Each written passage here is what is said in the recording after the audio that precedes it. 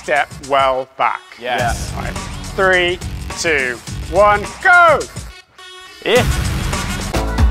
We are back with our wonderful sciencey man friend, Dr. Nate, and uh, he is going to be doing some incredible science stuff with us. Say hi, Dr. Nate. Hi, Dr. Nate. Did this before. I love it. It's so great. What are we going to be doing today, Dr. Nate? So in that beaker just there is something called hydrogen peroxide. Can I is- drink it? No, definitely Okay. do not drink this. So it's kind of like water, but angry. So H2O is water, but this has got an extra oxygen on it. So, Ah. but listen. so this is something we actually make inside of our bodies. It's a poison. It's a byproduct. It happens when we digest stuff. So we need to get rid of it. And one of the ways we get rid of it is in our livers. So I've got some chicken liver just there. You take a couple of drops of that and put it on the chicken liver. It should fizz up. And that is the liver breaking down the hydrogen peroxide into water and oxygen. Ooh. And you might also notice it smells really gross. It does kind of smell like like chicken, like like meat. No, it doesn't. No, it's no, it smells bad now. The first smell was like chicken. Now it smells bad. I don't think I know how to smell. That's what happens in our bodies, but actually we can make this reaction happen really, really fast. And you might have seen this before. It's called the elephant's toothpaste. Oh yes. I hear that you really want to do the elephant's toothpaste experiment. Yes. very much Yes, do yes, want to do the yes, elephant yes. toothpaste experiment. But there's one thing you have to say to the audience at home. Oh, do not try it at home. Uh, not that you can anyway, because you can't get the chemicals. Lol, but don't try at home anyway. Sorry. And then underneath the table, I'm going to step back.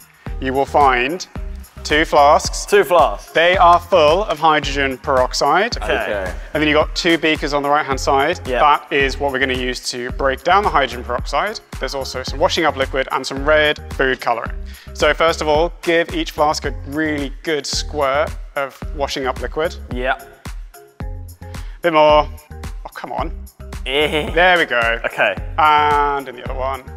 Just empties it. Beautiful work, loving your style. Now, if you then, because I hear you're quite big fans of Man U, so I thought we would We do are. Man U elephant's toothpaste. So you've got pipette just down there on the side. If you use that red food colouring and then kind of like toothpaste, put big, generous squirts of red food colouring down the sides of your flasks. Oh, that went down. Well, that was a fail. That was a big More, fail. more down the sides, more down the sides. I heard the unsureness. okay. Cool. That's how you fill up a pet. Beautiful work. I think you've got enough there. Yeah, I'm just making sure. I'll take that. Those beakers filled with potassium iodide that's going to break down the hydrogen peroxide, you're going to pour them in to the flask and then you are going to step well back, straight away. Don't even think about looking at it. Remember, potassium iodide in and then step well back. Yes. All right. Three, two, one, go! Yeah. Oh my god! so big. Oh my gosh.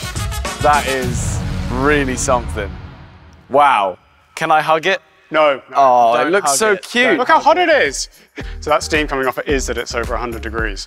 Wow.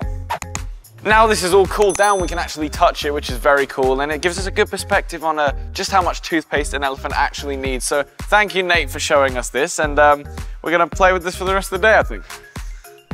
Yeah.